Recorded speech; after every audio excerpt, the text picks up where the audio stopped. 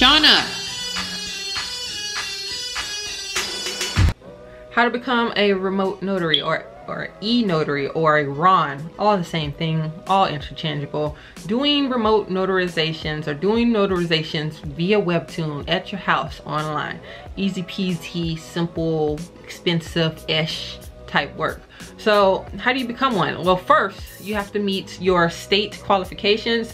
Uh, basically, very first step, you have to be a notary, a traditional notary. So um, I know some of you probably like, yeah, I'm in my process of being that.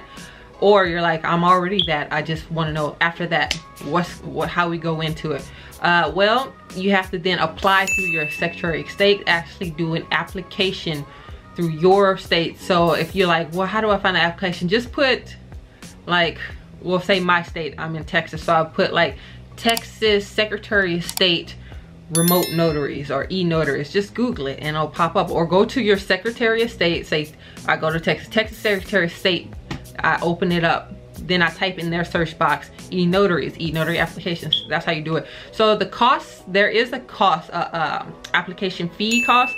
Now it changes in different state but roughly you're gonna pay typically around $50 and then plus there's like a anywhere from two to three percent uh, convenience fee or yeah convenience fee an additional convenience fee which is no more than like a dollar 52 dollars right?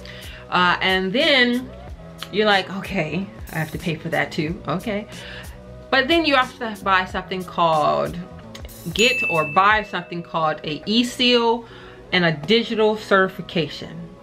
Basically you know how notaries have their oh, where's my stamp? It's in my bag way over yonder and I don't feel like getting it. So, but um, the stamps, bam, picture right there, a uh, stamp. And then uh, your digital, a digital, uh, basically electronic version of that. Uh, and then a digital certification. Uh, yeah, and then you have to buy those things, which there is some tomfoolery going around where there's some sites that make you think you have to pay more than what you actually have to pay. I'll get into that again in another video because I'm all about giving you this free information. I don't charge you to know this information because it's already online for free. Anyway, after you buy your electronic seal and your digital security digital certificate you're going to then choose what ron or remote notary service or vendor. You're going to choose what platform you want to do your remote notary work or your e-notary work on. Okay there's different websites called like doc Ver DocVerify notarize notarize not NotaryCam uh, notary live safe docs SIGNiX uh, there's different platforms where you can sign up to be a i lost my train of thought it's different platforms you can sign up to be a remote notary think of those different platforms like say if you wanted to be a a, a delivery driver for food you have uber eats you have grubhub you have uh, I don't really use delivery services though. I don't really know all the word rest of them. Think of about it like that. There's different platforms you can sign up to be e-notaries. However you do any one of those platforms you sign up for, you actually have to pay to be on them yeah that's that's that's sucky. But after you or pick your whoever you want to like sign up with you're gonna have to get a security bond for your remote notary.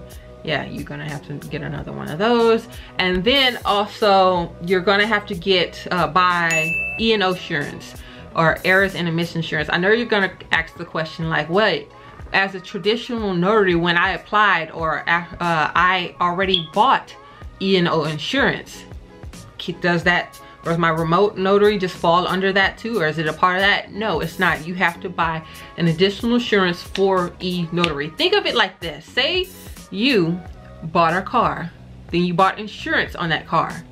Then your husband bought a car. You can't be like wait does the insurance on my car also cover his car it, it, no he needs his own insurance think of it like that your traditional notary needs its own insurance. Your remote notary needs its own insurance. It's as simple as that.